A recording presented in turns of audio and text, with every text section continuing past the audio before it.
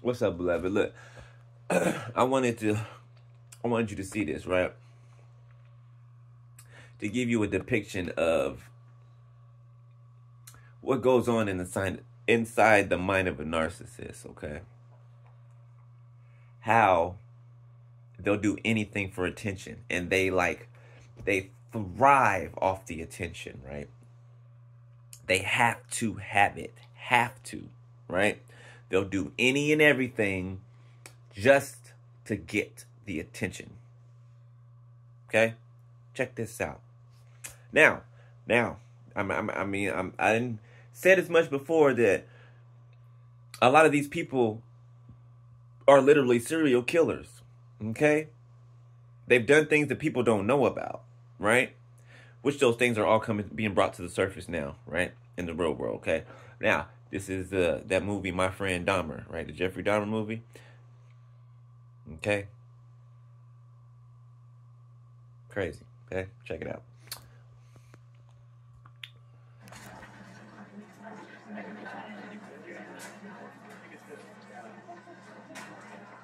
Made sure everybody was in the hallway.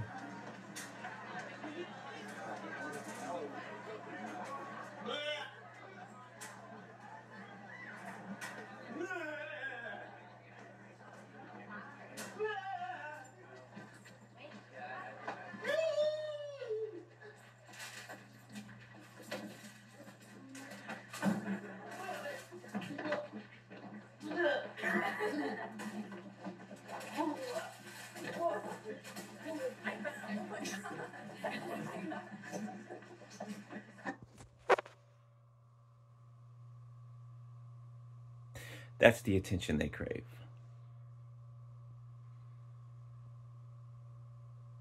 You see how he stopped, right? In the hallway? And he was waiting for the hallway to, to get more crowded. Then he did a little bit. See people turn around and look at him. Then he started doing going all out with it. Narcissistic narcissistic that's how their brain works. They have to have all eyes on them. All eyes on them. Two, three, four on my timer. And they don't care what they have to do to get it either. That means lie, cheat, steal, anything they will do to get attention.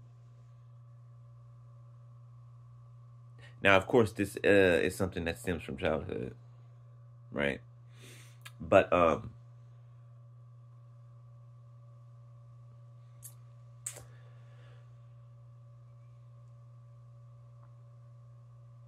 I believe a narcissist is created by the narcissist that comes before them, right? Parent, uncle, aunt, whatever, right? But I believe it was they were created, right, by somebody else. But on the way to that evolution into a narcissist, right?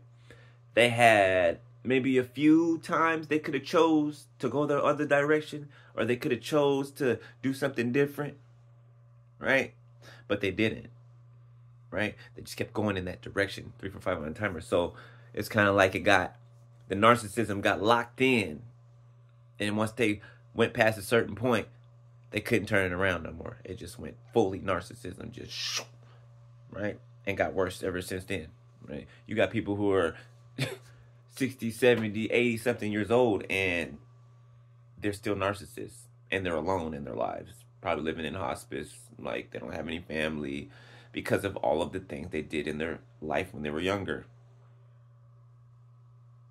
Yeah. So I just want to show y'all that because um, that is the, the inside of a narcissist. That's that's what they think in their mind. Like they need and crave attention. Any attention. Okay? They don't focus on anything for too long. They uh they always think the grass is greener on the other side, right? The grass is green where you water the grass at. Period. For for for my timer. Every time somebody thinks the grass is greener on the other side, right? They get over there and then they find out that that grass is fake.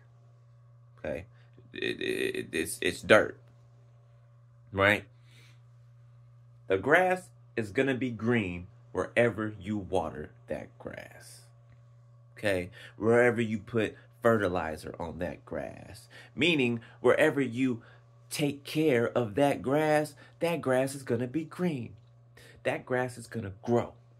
Why? Because you are nurturing it. You are making sure that it is uh uh okay, right? There's no um no scorching sunspots on the grass. There's no um dead patches.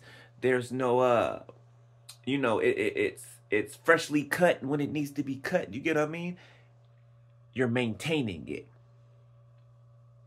Right? Jumping in somebody else's grass because it looks greener. You don't even know who lives within that yard.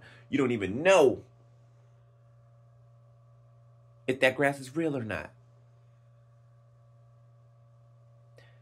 99.9% of the time, when somebody's looking at somebody else's grass and hops on over there, that grass is never greener. Never. Mm-hmm. Just want to let you know that. Okay? All right? All right.